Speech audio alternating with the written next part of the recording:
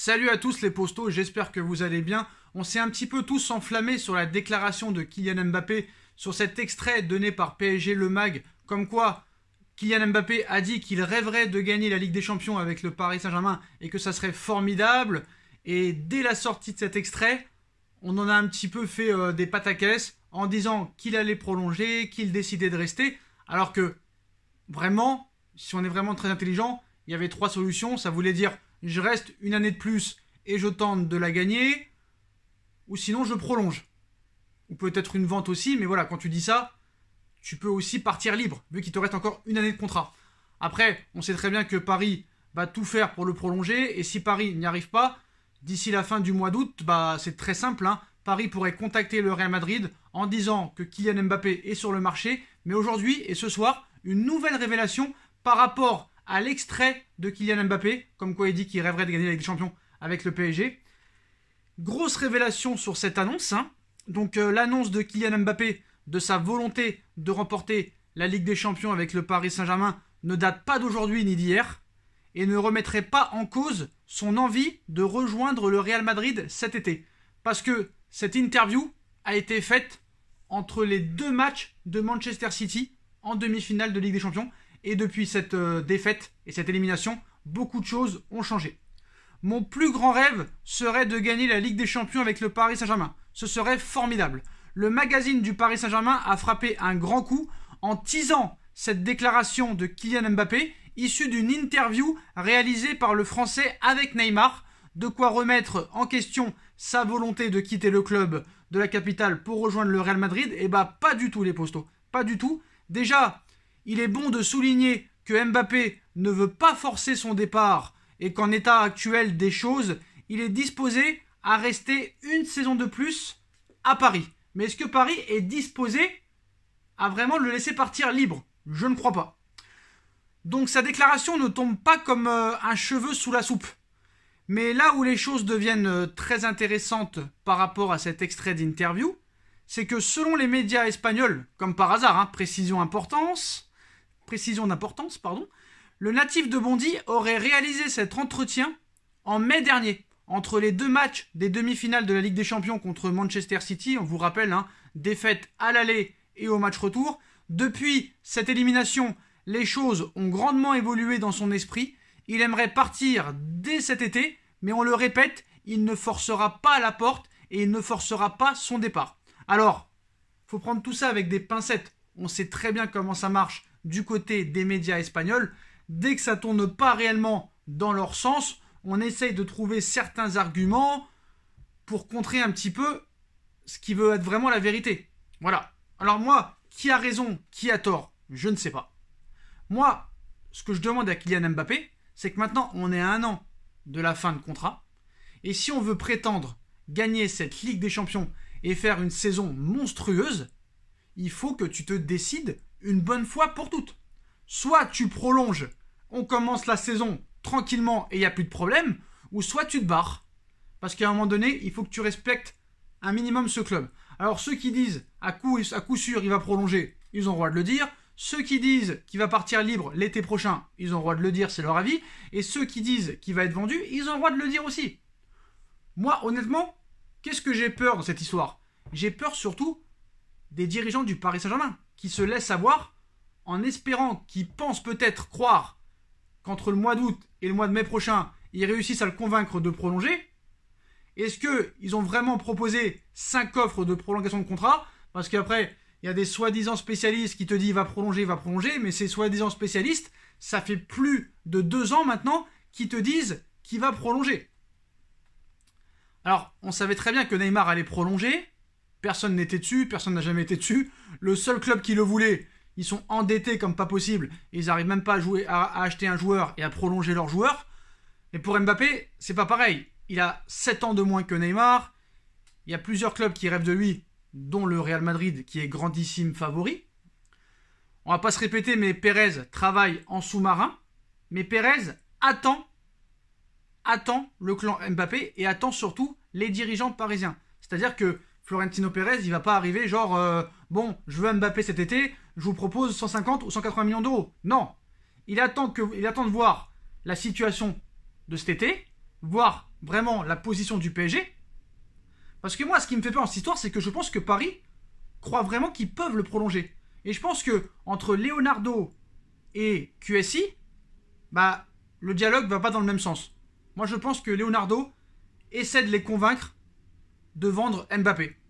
Sauf que eux, Doha, ils ont un ego tellement surdimensionné qu'ils croient réellement qu'ils peuvent tout faire. Parce que sinon, comment ça se fait que depuis un an, c'est Leonardo qui s'occupe du dossier Mbappé pour le prolonger, et d'un seul coup, c'est passé de Leonardo à Nasser. Nasser, le bras droit du prince Sheikh Altani.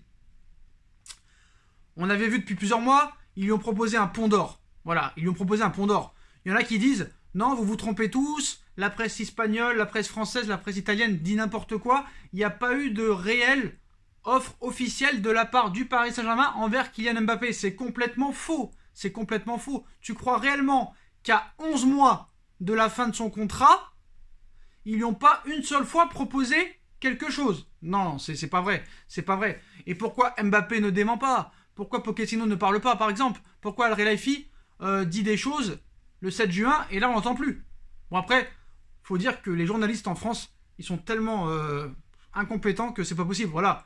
Vous voyez par exemple aujourd'hui, Messi à l'aéroport, il y avait 4-5 médias, ils lui ont dit Messi tu prolonges, Messi tu prolonges. Bon, il n'a pas répondu, il a esquivé. Mais au moins, la presse espagnole a eu les couilles, les couilles de lui poser la question. Moi, j'ai jamais entendu dire un journaliste, Kylian, est-ce que tu vas prolonger? Peu importe ce qu'il répond. Personne n'a les couilles. Personne n'a les couilles.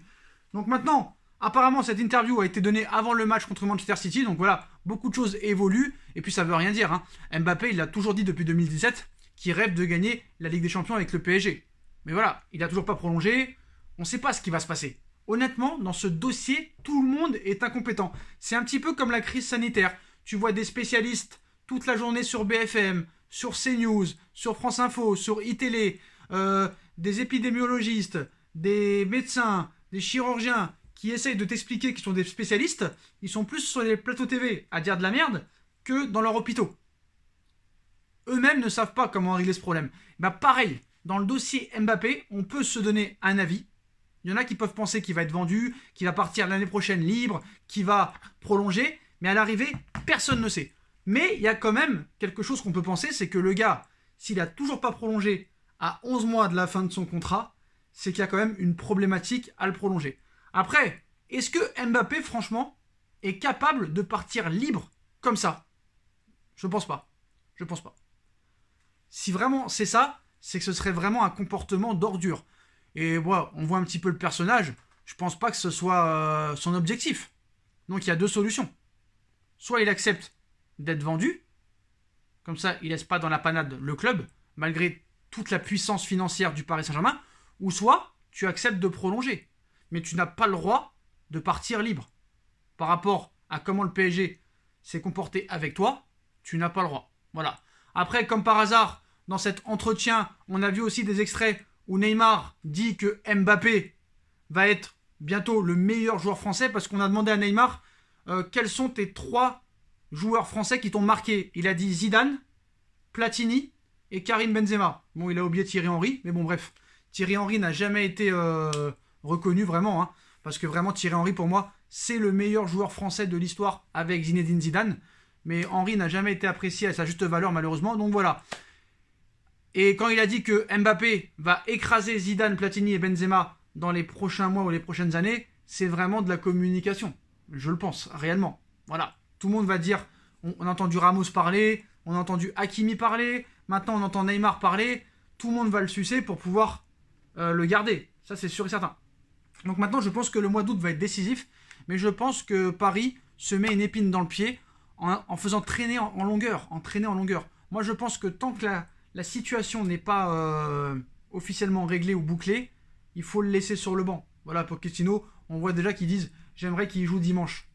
Mais non, non, c'est pas comme ça. C'est pas comme ça que ça doit se passer. Je pense qu'il faut arrêter euh, que ce soit les joueurs qui soient la loi, qui font la loi. C'est pas aux joueurs de faire la loi dans les clubs. Et à un moment donné, stop. On voit comment se comporte le Real, on voit comment se comporte Manchester United. Tu veux partir, tu pars. Regardez aujourd'hui l'article qui a été lancé sur Pérez.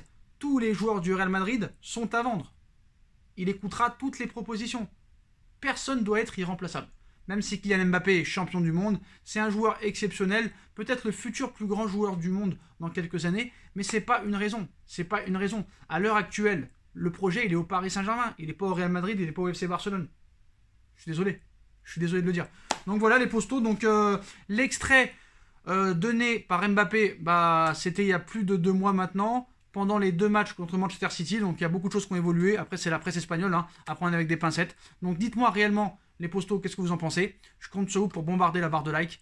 Mais moi, je pense que réellement, prends une décision, tu te barres tout de suite ou tu prolonges. Voilà, c'est tout. Euh, ma cagnotte PayPal est disponible en lien en description si vous voulez faire un petit don. On a sorti une autre vidéo, hein, deux vidéos aujourd'hui sur SB Foot News. Le lien est en bas en description, n'hésitez pas à aller vous abonner à la chaîne, SB Foot News, mon Instagram. Et on se retrouve très très vite les postos pour une nouvelle vidéo. Tchuss